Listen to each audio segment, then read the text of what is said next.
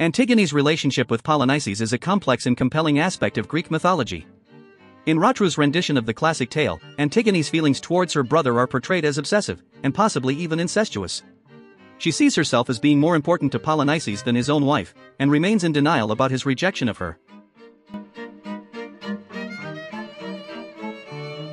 The bond between Antigone and Polynices is deeply rooted in their shared bloodline and familial ties.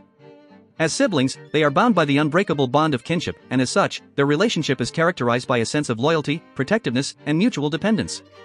Antigone's unwavering commitment to her brother is evident in her willingness to defy the laws of the land and risk her own life in order to ensure that Polynices receives a proper burial. In Rotrou's portrayal, Antigone's feelings for Polynices go beyond mere sisterly devotion. Her obsession with her brother is evident in her unwillingness to accept his rejection of her. Despite his ultimate rejection of her, Antigone continues to view herself as the most important person in his life, even more so than his own wife. This obsessive attachment to her brother suggests a deeper, more complex emotional bond that goes beyond the boundaries of conventional sibling relationships.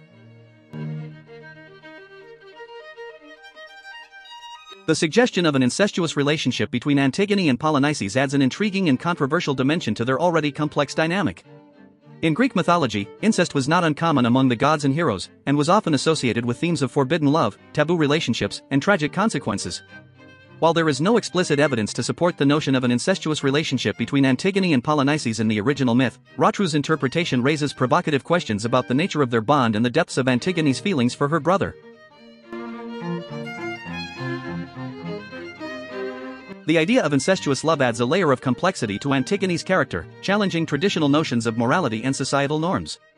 It forces us to confront uncomfortable truths about the depths of human emotion and the complexities of familial relationships. Antigone's obsessive attachment to Polynices and her denial of his rejection may be seen as a manifestation of her forbidden love for him, a love that defies societal expectations and moral boundaries.